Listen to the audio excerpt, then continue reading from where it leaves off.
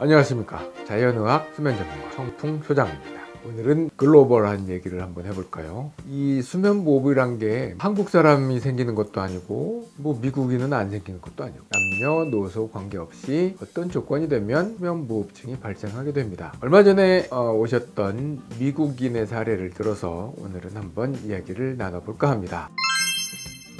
네, 미국의 경우 수면무호흡증 치료는 기본은 양압기입니다. 왜 그러냐면 워낙 뚱뚱한 사람들이 많잖아요. 뭐 150kg는 뭐 기본이고 뭐 180kg, 200kg 나가는 사람들이 부직이 쓰다 보니 수면 무호흡증 동안 매우 심각한 사회적 문제라고 합니다. 이런 분들은 수술을 한다거나 구강장치 정도로는 약하죠. 수술을 해도 별 효과가 없고 그래서 어, 양압기와 구강장치를 같이 쓰는 경우도 많다고 하더라고요. 저희 연구소에 방문한 이분은 어, 워낙 얼굴도 작고 체격도 작고 그래서 양압기는 해당이 안 되기 때문에 미국에서 제작을 했던 구강 장치를 하고 있었고 제가 놀라웠던 거는 이게 보험정이 된다는 거였어요. 본인이 갖고 있는 보험에 수면무호흡증 치료를 위해서 구강 장치도 보험 혜택을 받을 수 있는 그런 보험이었다고 하는 거죠. 그래서 구강 장치 제작비가 얼마나 들었나요? 했더니 수면 검사는 별도로 하고 그냥 장치 제작비만 보험을 받아서 600만 원 정도가 들었다는 거예요. 제작 기간이 무려 3개월이 소요된다는 거죠. 한국에 나와 있는 동안에 좀 손상이 있어서 한국에서 그걸 맞추러 간다는 거는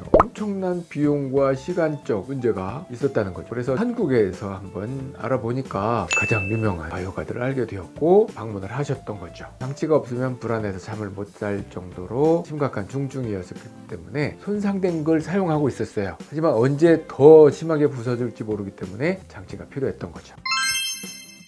그분의 원인 역시 구강이 워낙 작았다는 거죠. 기도도 되게 좁았어요. 그러다 보니까 구조적인 문제를 해결해 줘야만 되는 상황이었어요. 어느 정도 이제 구강이 작고 문제였냐면 요 요만 했어요. 이거는 어린아이보다도 작아요 이거는 제 거 구강 모형이에요 이렇게 비교해보면 정말 심각하게 작다는 것을 알 수 있습니다. 엄지손가락 하나를 여기다 딱 넣어볼게요. 엄지손가락 하나만으로도 꽉 차죠? 제 모형은 엄지손가락 하나 넣었는데 아주 여유롭죠? 이렇게 구강이 워낙 작다 보니까 평소에는 뭐 숨 쉬는 게 문제가 없지만 잠에 들기만 하면 숨이 너무 힘들었다는 거죠. 어릴 때부터 이렇게 자는 게 힘들고 숨 쉬는 게 힘들어서 보통의 미국 사람들보다 훨씬 체격이 작았어요. 미리 이거를 좀 치료했다면 키도 지금보다 훨씬 컸을 텐데 안타깝더라고요.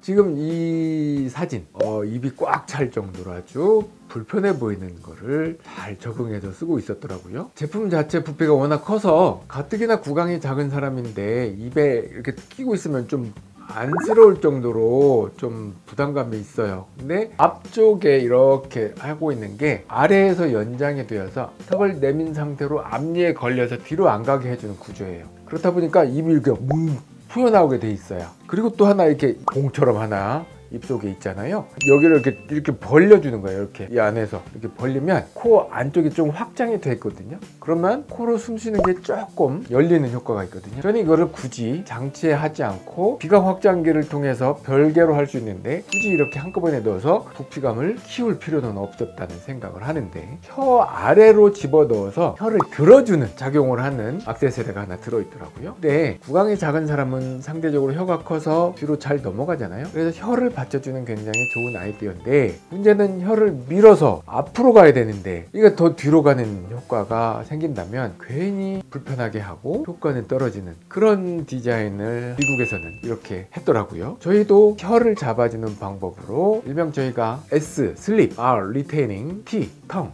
자는 동안에 혀를 잡아주는 장치라고 하는 그런 디자인도 있거든요. 이처럼 제품에 있어서는 디자인의 차이가 있지만 근본적인 원리 턱을 앞으로 당겨서 기도를 열어주고 혀가 뒤로 처지지 않게 해주고 코가 확장되어서 호흡량을 늘려주고 하는 개념은 다 같다는 거죠. 그거를 어떻게 구현시켜서 사용자가 더 편하게 하고 내구성이 좋고 어, 효과를 더 잘 볼 수 있게 하느냐 하는 게 중요하다는 거죠. 효과가 아무리 좋아도 사용하기 불편하고 힘들고 잘 부서진다면 오류를 반감할 수 있는 거죠 보험받아서 600만 원이 나는 구강장치를 쓰고 불편했던 점이 뭐냐면 이 제품을 끼고 아침에 일어나면 입에 이 장치가 다 달라붙는 거예요 특히 이 혀, 혀를 받쳐주는 게 불편하니까 입을 이렇게 벌리고 자는 거예요 입으로 숨을 계속 쉬었던 거예요. 그러다 보니까 이 제품의 액세서리들이 점막에 다 달라붙어 가지고 안 떨어진대요. 그래서 물을 마셔서 그거를 불려서 빼야 될 정도로 아주 심각하고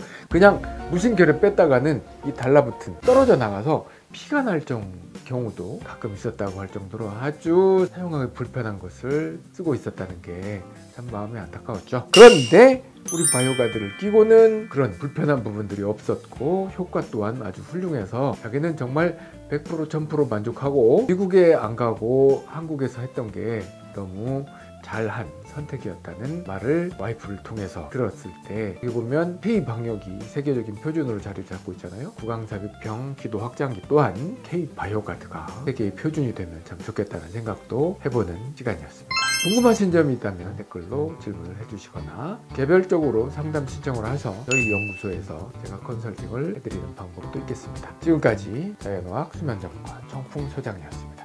고맙습니다.